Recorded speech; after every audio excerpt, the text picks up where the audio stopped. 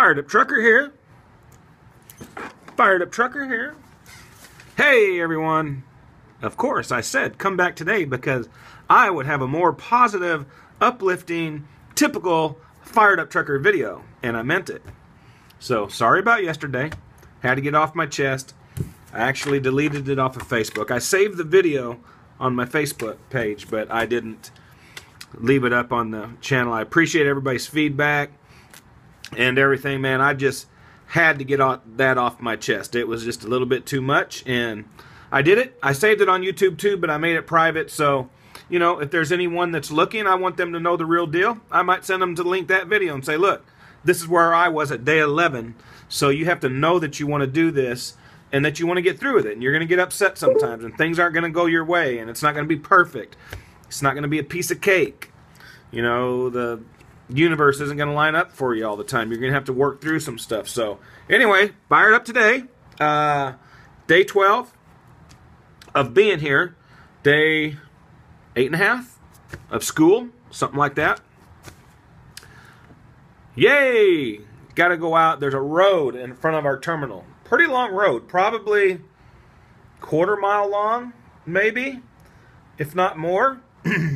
Has a little circular drive at the end, uh, which kind of imitates a lot of, you know, places you might have to pull into or something. Got to go out with uh, three of the other guys, the guys that I've been hanging with, the guys that are in my second week deal here. Mo, Mo, Eric, and Rod. Thumbs up. Rod's from Oklahoma. Mo and Eric are from Lakeland, Florida. So those are my buds here. Looking forward to us all getting our CDLs, making it through, and seeing each other out on the road or at some terminals, you know, wherever. So uh, great guys. Went and had some great Mexican food last night. Had some good times. You know, had a big freaking 42 ounce Miller Lite beer. And, you know, I don't drink that much, hardly ever. Just me and my wife might go out every once in a while and, you know, have that cold draft beer at Hooters, and that's it. And the only reason we go to Hooters because they got good, what?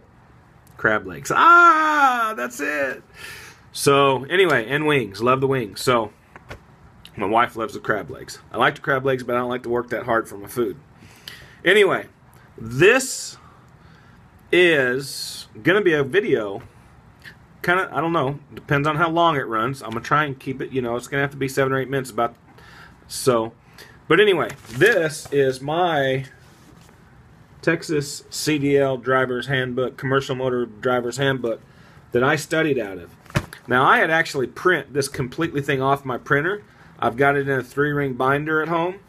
I studied that. I highlighted that. I underlined that. I had an old one of these that had the old, it had a uh, cover just like the paper that's on the inside. This one's got the fancy cover. I was I was surprised when she gave me this one.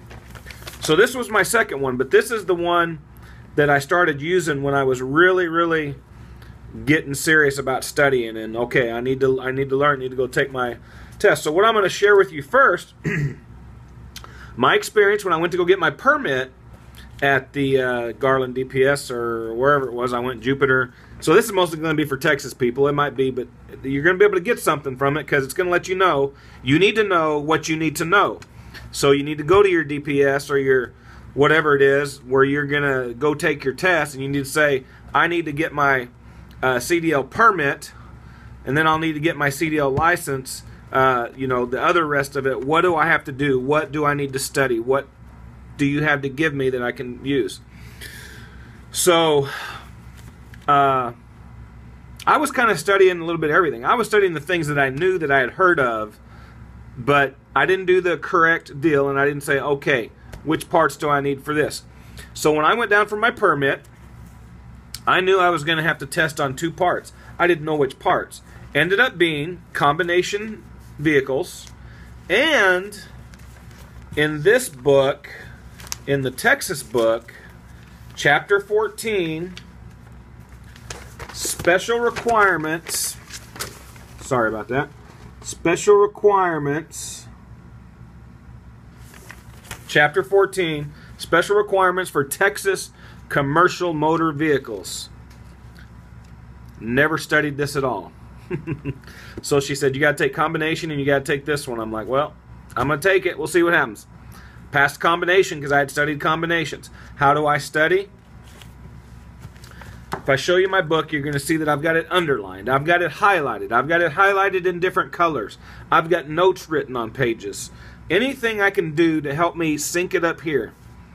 Every section in this book, for my permit, and when I went and passed the last three parts, which was general knowledge, which a lot of people fail the first time. Why? Because they just don't study. They might read through it, brace through it, and think, oh, I got it. No, you don't.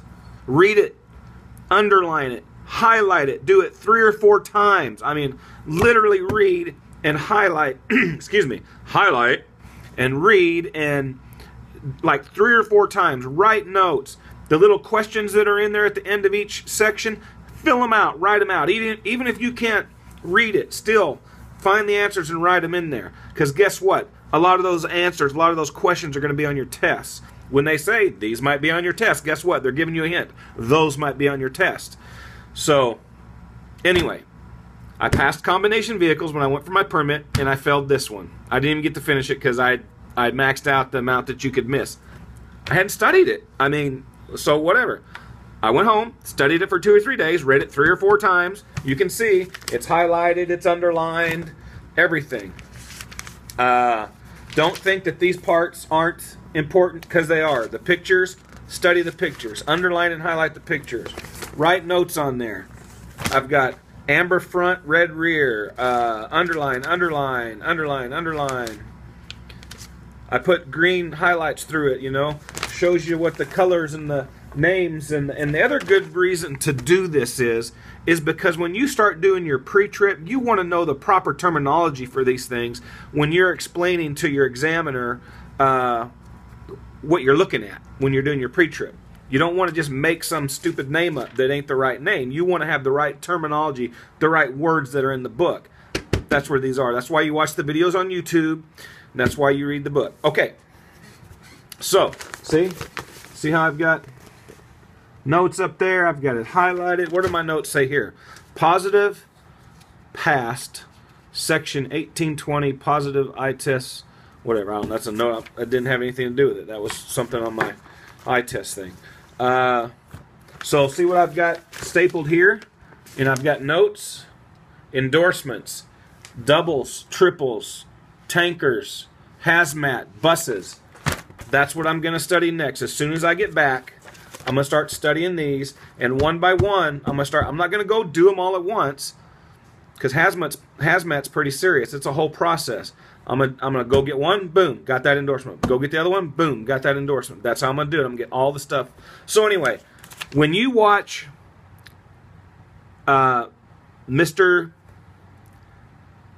Sinister the Trucker's videos, like I have, he's the reason I'm even here at Knight.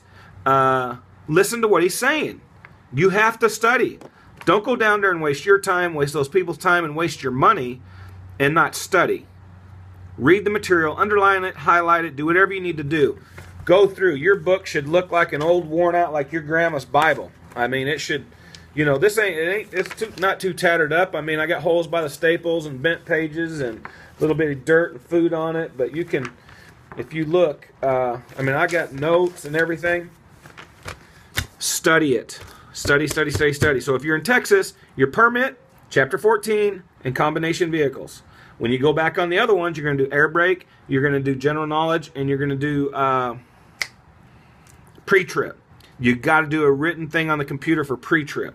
In Texas, and at least in Dallas, Texas, we don't do the walk around pre-trip with the examiner. We do it on the computer. Anyway, fired up trucker here. Find me on Facebook, Jim W. Hammons. Come to the Facebook group, Fired Up Truckers. See you on the next video. Appreciate you watching. Sorry about yesterday. Gonna keep it positive, but I had to be upfront. I had to be real and transparent with you guys. And that's how it's going to be. If anybody ever wants to see that video or I think it'll help them, I'll show it to them. But I'm not keeping it out there for people to see. Fired up.